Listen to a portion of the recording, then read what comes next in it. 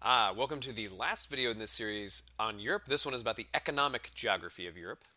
There's lots of stuff to learn about this. The natural resources in Europe have basically pushed it into being one of the most productive areas of the world, along with that industrial revolution thing. So Europe has many different kinds. For instance, the northern European plain that we learned about in the first video has this uh, fertile soil called Chernozem, and this land is good for farming and it's this wind-blown soil. It's like black. You'll see some of that. Um, the the Ruhr and Po valleys have deposits of iron ore and coal, which led to a lot of industrial production.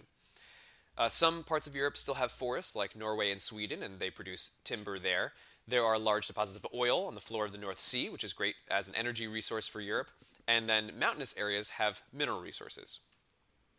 Here you can see, over here in Norway, um, the green area, those are all forested regions where you can actually harvest those forests. Um, you can see some pasture land down there, um, and then some hardwood harvesting as well.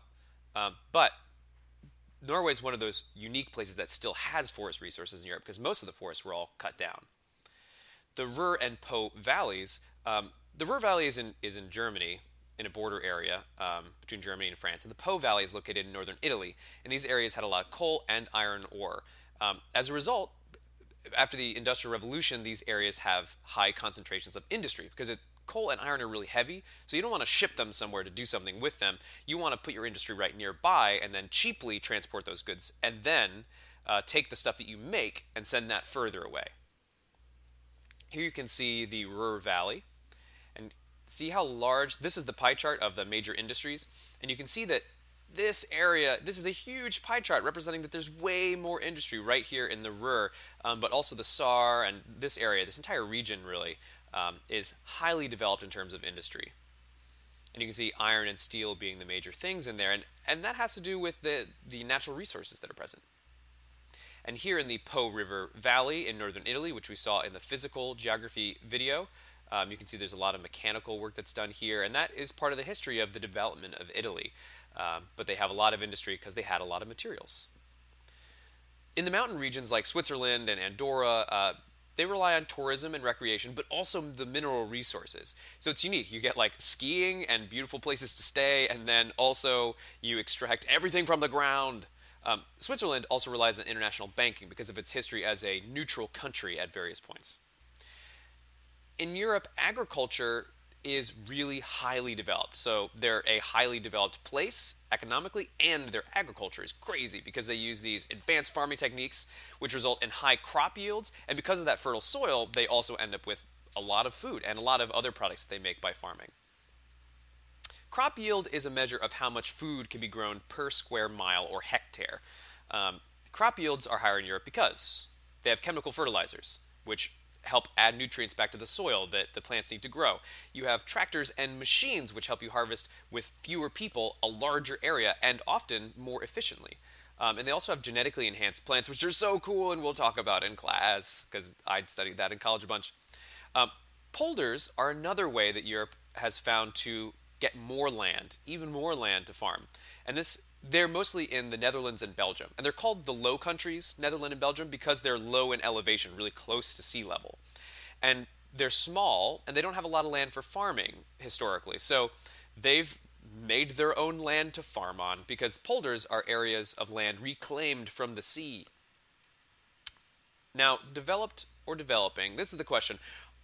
Are European countries developed or developing? It's actually a pretty easy answer for all of Europe because they are all considered developed because they have a high per capita GDP. Everyone earns enough money to get a high standard of living. So then there's high life expectancy because of access to medical technology and uh, food and nutrition.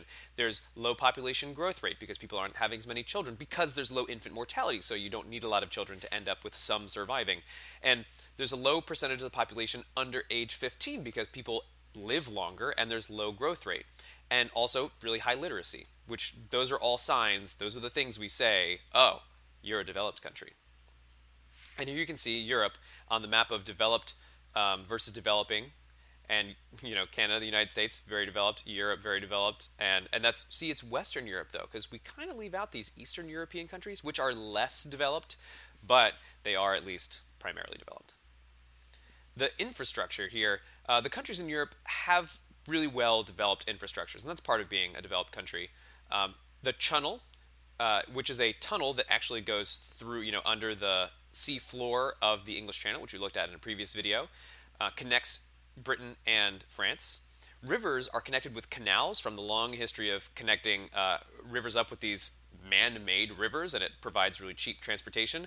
They have a very good rail system and a huge percentage of internet connections and cell phone use. There are three kinds of economic systems uh, which Europe has seen. The free market economy, which is based on the idea of supply and demand and that individuals should own things in the economy. There's a mixed economy where governments own important industries or especially provide social safety nets. And there's a command economy where governments own everything, are in charge of everything, and direct everything. After World War II ended in 1945, the Soviet Union controlled the majority of Eastern Europe and forced those countries to be communist and have a command economy.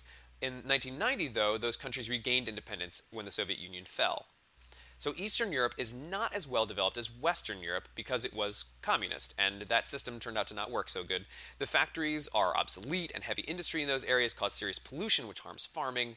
Uh, but an example of mixed economies, Denmark and Sweden, uh, it's kind of nice. They have really good health care, which is paid for by the government, and they can retire early, um, and their unemployment is low, and they have like pretty good societies. And then Denmark and Sweden unfortunately rank number one and two in terms of how much taxes the people pay, uh, because the income tax is around 42 to 63 percent.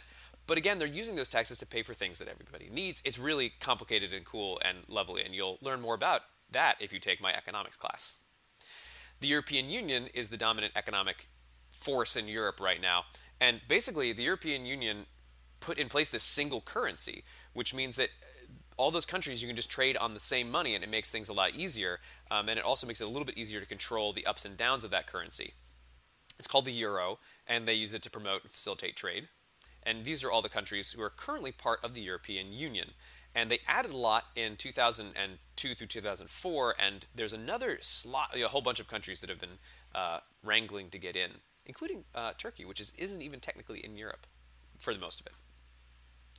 But there's some problems Several areas in Europe are facing severe pollution problems, like the Black Forest uh, suffers from acid rain, although much less now. We've actually done a lot about that. In Venice, there's serious water pollution because it's a city on the water, and uh, there's not a lot of places to put your uh, refuse, trash. Uh, the Rhine, Danube, and Seine rivers all struggle with water pollution. Here you can see this is a, a major area that has been affected by uh, the acid rain. This is in Germany. And here's what it looks like when you have acid rain. It basically strips the trees bare of their leaves and they kind of collapse in on themselves and it's really sad and destroys forests and ruins habitats and ruins soil. Because here's how it works.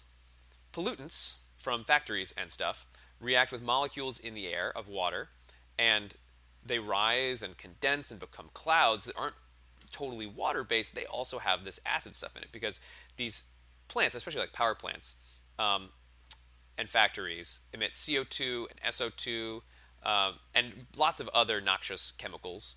And those hit the clouds, condense, and then fall as acid rain compounds. And they fall down to the surface of the ocean and the land and rivers and lakes.